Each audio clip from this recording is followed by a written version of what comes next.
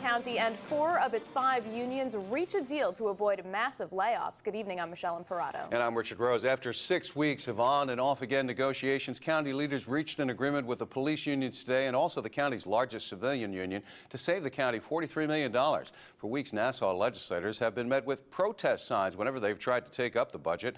County Executive Tom Suozzi says the compromise involves two-week delays in payroll and not filling open positions, but he is still negotiating with the corrections officers. Four of the five unions have reached agreement with the county or an arbitration award. We have 43 out of the $50 million in savings we need. Most of the savings this year is coming from what's known as a lag payroll and a reduction of the workforce, as well as the deferral of some raises. Next year, the uh, lion's share of the savings will come from a permanent reduction of the workforce. 100 less police officers, bringing it down to 2550, uh, and about 300 less CSEA workers, civil service workers. I don't think we'll be done in a day, I'm being honest. Uh, it's going to take a little more time, but uh, Uh, I, I'm just hoping that we progress. Uh, 11 legislators, it's bipartisan, actually voted for 26 days to give to the county executive in the event he needs to actually close our county agencies. Now, the deal must still be ratified by the unions. It passed the legislature today 11 to 8 with one Republican voting for it, Michelle. 11 continues. Nassau County's largest union called for change today, claiming the future of Nassau University Medical Center is grim. The hospital is reportedly facing a $34.2 million deficit and is considering laying off hundreds of employees. CSEA says the county should either take back control of the hospital, regulate spending, or make a special taxing district to create a new revenue stream for the facility. The union is accusing the hospital of wasteful spending and overpaying top administrators while the employees suffer. Now, if the Senate doesn't pass a number of time-sensitive bills by midnight, people across the state will feel it. CBS 2's Jennifer McLogan tells us what's at stake. With youth programs now threatened, working parents are panicked. That would be really bad because if kids don't have a place to go. James Jean worries that the mess in Albany will translate to summer trouble on the streets here. We'd be inside very lazy. Just I just think it would be boring. You won't get to feel the fresh air outside. It's D-Day for Nassau County's budget. If the state doesn't act by midnight on a number of measures, a rolling cascade of draconian cuts to social services could begin with as many as 900 county worker layoffs, including 250 police officers. Incomprehensible that these guys cannot just sit down and say, okay, we'll fight about the leadership battle later. Let's just get together and pass this important, urgent legislation. Nassau is handcuffed until the Senate approves the $65 million bond authorization to pay for an early retirement program to reduce the county workforce. The game is over. The governor's asking for you to get it done. The courts have asked you to get it done. The, all the labor unions, everybody, the residents. What do we got to do? What do we got to do to get these guys to do their job? Nassau says property taxes could now be raised, funding to youth agencies slashed until Albany agrees to the cigarette tax, red light cameras, and ticket surcharges. They need to have a affordable um, care for their children. And that's what we can provide by getting these county funds. The chaos in Albany is affecting communities everywhere. In Westchester, residents gave the Senate a failing grade. Nobody cares about the petty issues they're fighting over. People are hanging on by their fingernails. Many voters across the state are threatening to remember the politicians' bizarre behavior in Albany when it's time they're running for re-election. From Mineola, Jennifer McLogan, CBS 2 News. Now, because of Albany's inaction, non-essential Nassau County offices could be forced to close for 26 days a year. Affected workers workers would not be paid, and the county's budget gap would continue to grow. Political state senators showed up for another extra session tonight in Albany as required by the governor, but all we got was another chapter of As the Gavel Bangs. The session is adjourned. Sine die. Yeah, there you go. State senators again adjourned this evening's session shortly after it began tonight at 7 o'clock. Meanwhile, our county governments are losing big bucks as bills collect dust in Albany. Scott Feldman takes a look at the numbers in a story you'll see only on 12. There's so much stuff that has to get done. Nassau Executive Tom Suozzi pleading with state senators to pass a $2 a pack cigarette tax. That would raise $20 million to close the county's $27 million budget gap and stave off cuts to youth programs that teens say are making a difference in their lives. We've learned so much from it, you know, communication skills, leadership skills. With the Senate stalemate, most at risk for Nassau is an early retirement program to trim the county workforce.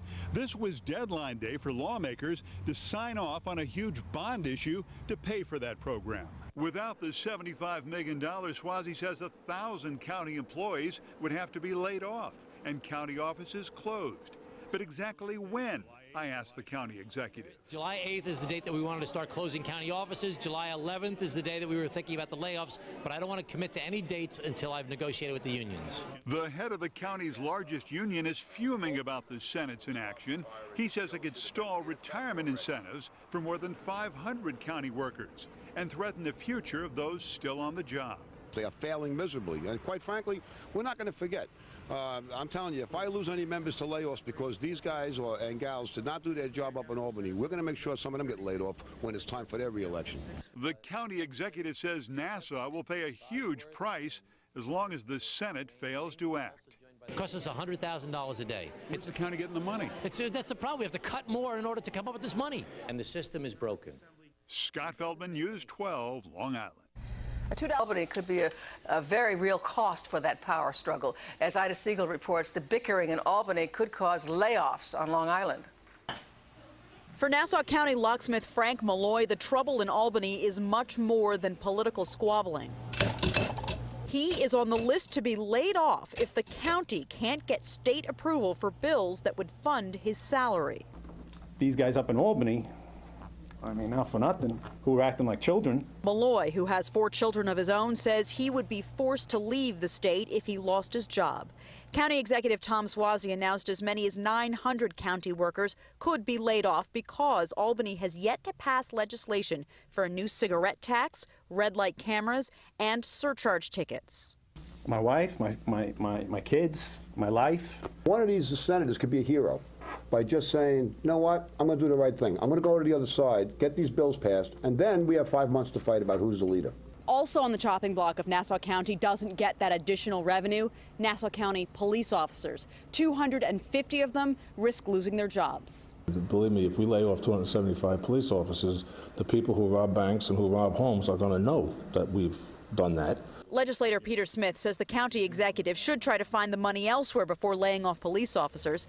The county says there isn't anything else to cut that would generate enough revenue. As for time frame, technically the layoffs were supposed to happen today. The county, however, is monitoring the situation in Albany. It says if things aren't settled, layoffs could happen in the next couple of weeks. Frank Malloy has a message for the senators. New Yorkers by nature have good memories. So do the right thing and do it fast. In Mineola, Ida Siegel, News 4 New York. Both New the union that represents nurses at Nassau University Medical Center says the hospital has violated the terms of the nurses' contract. Kate Masso reports.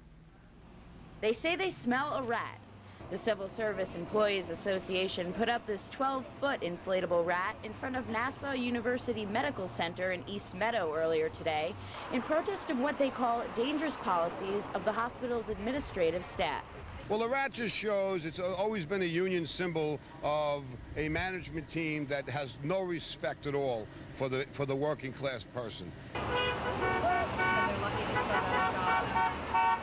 The union's president explained that the hospital administration has violated the terms of union nurses' contracts, rescheduling them to work shorter shifts that they say often result in overwhelming nurse shortages. It definitely affecting patients because there isn't as many nurses to do it. And in a short eight-hour period when you have a critical patient, you don't know your patient. There's no continuing of care. You cannot sacrifice patient care to squeeze out the dime. It's not going to work. CSEA officials say that this is the first of many protests against what they call a corrupt hospital administration. And they say they hope to gain support of local politicians. And they're starting by gaining support of people right here on this street corner. Because this is just the beginning. It's only day one. We're going to be speaking at legislators. We're going to be speaking upstate in Albany. We're going to be marching and demonstrating out here one day. We're going to make this administration wake up from their coma. In East Meadow, Kate Masso, LI News Tonight. And Nassau County employees were fired for doing favors for their friends and family, favors that cost the county $25,000. That's what Nassau County does all the time. They go retro on their own policies before they were in place, and we're supposed to know like we have some kind of genie in our head.